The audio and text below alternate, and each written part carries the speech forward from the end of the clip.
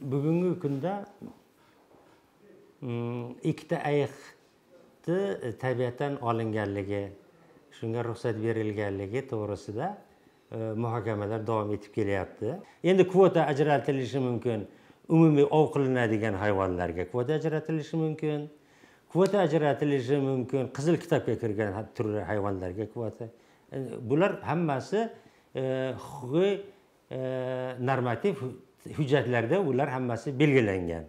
Masalan ikkita ayiq albatta e, tabiatdan foydalanuvchilar tomonidan e, o'zbekiston respublikasi ekologiya va atrof muhitni muhofaza qilish qo'mitasiga e, ariza tushadi. Bular mana shu tushgan arizalarni muvofiqlashtirib muhokamaga beriladi. Idoralararo komissiya tuzilgan. Komissiya idoralararo komissiyasida har xil mutaxassislar qatnashadi. Buni bitta odam qabul qilmaydi yo bitta tashkilot qabul qilmaydi. Maqsad tabiatda ratsional foydalanish. Albatta uni ikkita sonini ajratishdan oldin bu muhokama bo'lgan. E, so'zni ma'nosini yaxshi tushunmasligimizdan kelib chiqyapti. Tabiatdan olish degan bu endi madaniy qilib chiroyli qilib gapirilgan so'z. Otish qopqon bilan otish miltiq bilan otish rogatka bilan otish qo'lingiz bilan ushlab olish setka bilan ushlab olish e, moshin bilan bostirib o'ldirish bular hammasi uslublar bular. Masalan har narsa qush bo'lsa qush qush bo'lsa. Qushni miltiq bilan otib olmasangiz siz ushlay olmaysizda to'r qo'ysangiz qush tushmaydi bu uslub boshqa yo'li yo'q.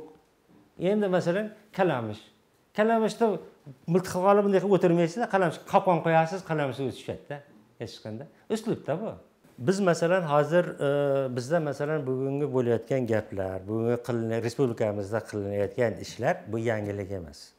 Butun dunyoda mana shu tartibda e, olib boriladi.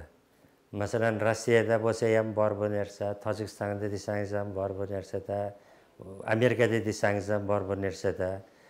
Hamma vaqt masalan qarangda tabiatdan olishni men sizga aytay mana u ovchilar borku miltiq otadigan oddiy o'rdak otadimi bedana ushlaydimi? Ana ularni hammasi ruxsat olishi kerakda bu bir odamni qabul qilgan e, qarori emas. Bu komissiyada ko'rib chiqilgan qaror. Vazirlar mahkamasini qarori bo'ladimi boshqa qaror bo'ladimi? Bular oldin juda ko'p muhokamadan o'tadiku. Nega biz buni hisobga olmaymiz hisobga olishimiz kerakda.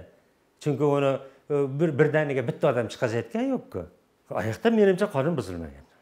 Chunki bu ko'pchilikni hamma tushunadi bilib mutaxassislar ishlagan haligi rahbarlar ishlagan hamma javobgarlikni bo'yin sezganku. Masalan просто ketmaganku. Muhokamalar bo'ladi. Это нормальный narsa.